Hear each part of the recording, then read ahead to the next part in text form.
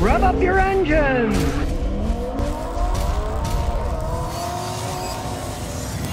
Today I'm going to talk about vehicles and what levels of trim you can buy them at. What features do you get at what price and is it worth it? Today's example is a 2015 F-150 Platinum Edition. The stock F-150 is 26000 This is a loaded one. It went for $56,000. What do you get for 30 grand? Well, the obvious thing here is you get four doors instead of two. And you get cool running boards.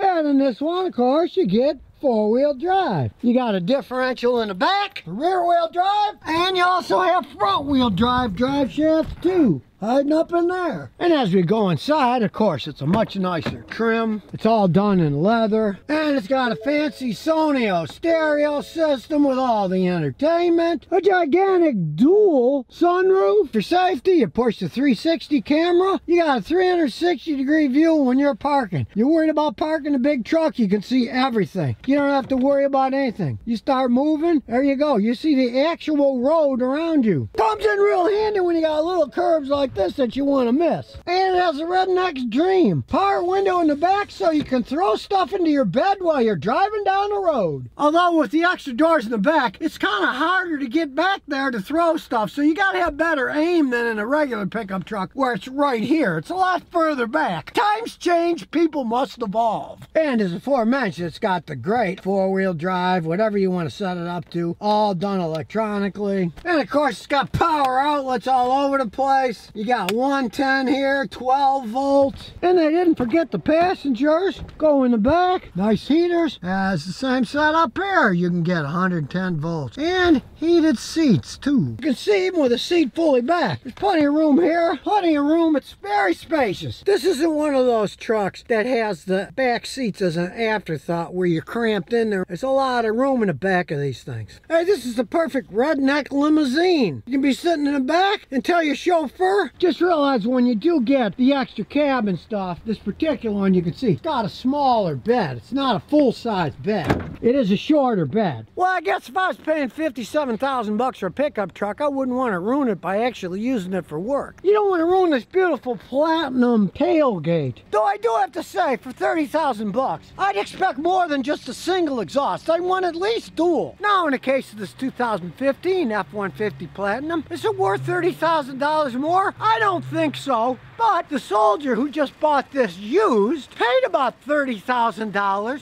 for the whole truck, not just for the extra bits. To me, it makes a lot more sense buying a loaded vehicle used. You're not paying the giant premium, you're saving money, so why not splurge and get a premium one versus an economy version. And we're soon to find out if you got a deal or not by plugging in my scan tool. See what it says. Reads it fast, modern vehicle. We're to go through everything. So these computers are worth their weight in gold. Got a whole bunch of good greens, but it's got some reds too. So let's look at some of the reds when we get to them. The running board control module, well, who cares if it's got a little code on it. Power steering, that's a little more important. So let's check that. Crazy communication codes, invalid data received from ABS, and battery voltage was low. You did buy this used. They sit a long time. A lot of times they have low battery voltages. They trip a lot of codes that mean nothing. We're going to reset them all before we go on a road test. Also has codes for the audio system. Yes, they're computerized too. Chime input. Who cares about that nonsense? I see this all the time in modern vehicles. As they age, they get all these crazy codes for stuff like chime in the audio system. As these higher level trims get older, they get little glitches, stuff you don't really care about. Full system scan. That was fine. Now let's check the live data here. Fords are cool because they got these self-diagnostic systems. Key on engine running. It's going to do all the tests itself. As you can hear,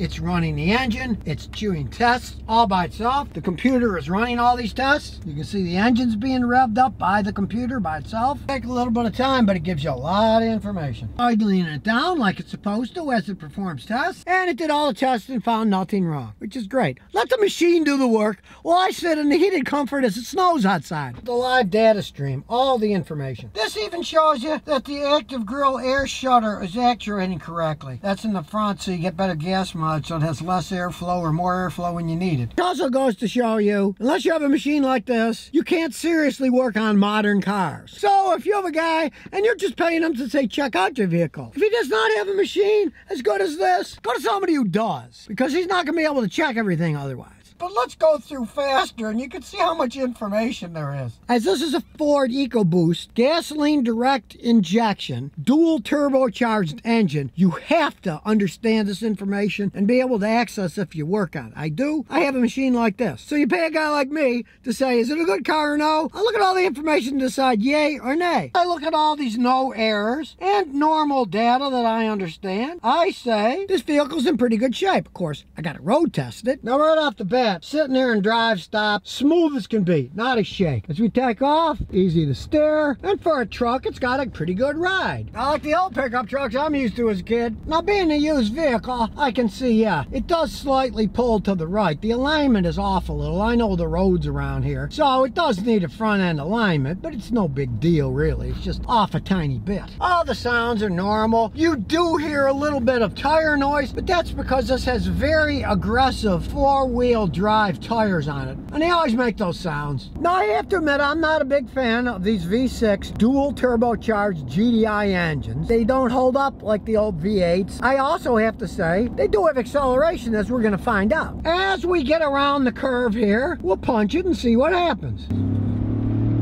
And yes, it does get up and go. No arguing that. Of course, the four-wheel drive, you can ride around the fields all you want. Other than the slight pull to the right, it's in really good shape. Sits nice and high, but yet has a decent ride. Overall, this truck is in excellent condition. So what have we learned? Maybe you want all this luxury, but maybe you don't want to pay $30,000 extra for it. Maybe you just want to pay $30,000 for the whole thing. Why not get it used? Because when you check this one out, it sure doesn't look used. Because it's certainly wasn't used as a work truck. The tailgate is still in perfect shape. There's no paint, no dings, no nothing. So if you want luxury trim, do like Scotty does. Get luxury trim used.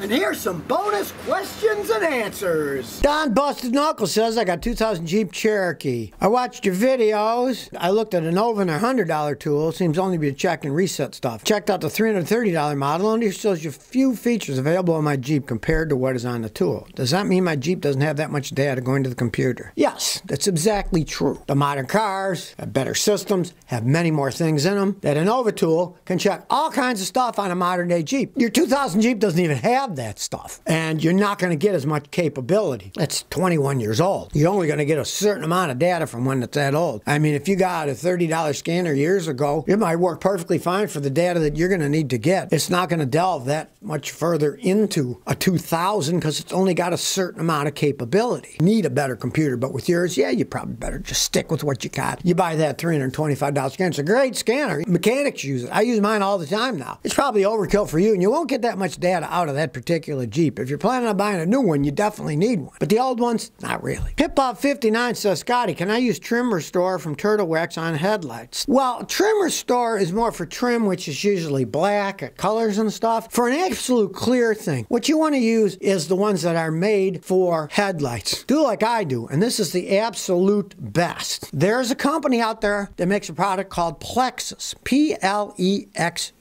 S. It was originally made for the old jet aircraft for their canopies to keep it nice and smooth. It was made through the military. And I use it on motorcycles, on headlights, and what it does is it's a plastic polish that polishes the plastic and coats it so the ultraviolet rays don't ruin it. The main reason you see those babies getting foggy and cracked is because the ultraviolet rays of the suns destroy that clear plastic. Bad enough when you got plastic on the outside of the car that looks bad because the ultraviolet rays ruined it. But headlights are perfectly crystal clear, and you easily see when they start fogging up. But this Plexus stuff works even better. Comes in a spray can, and it's not cheap. It's generally like 20 something dollars a bottle. But a bottle's going to last you years and years and years and years and years. I got a couple bottles here, and I've had them for years and years, and they still got a lot left in them because you only need a little and you polish it all up. The other advantage of it is it's an anti-static, so it actually keeps dust and dirt from collecting on. A lot of the dust and dirt gets on your car because static electricity tracks it in, and that neutralizes. Plex, it's a really good product. I've been using it for years. I always had to buy it, though. The company never never gave them any free. So you think one of them would have watched it and give me a case free, you know? But no, I just bought it. But what the heck? I got two bottles. I've had them for a decade, so it lasts a long time. You can use any kind of plastic. So if you never want to miss another one of my new car repair videos, remember to ring that bell.